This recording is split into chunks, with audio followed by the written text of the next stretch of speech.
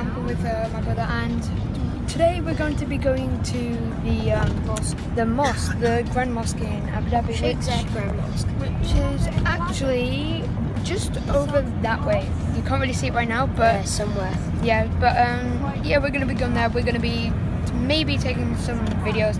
We're be- Depends if we're allowed. yeah, we're going to be taking some pictures anyway, and yeah, we've been here a few times, um, but yeah, just to see, and let's go to the time lapse. Let's go. So, guys, right now. gonna-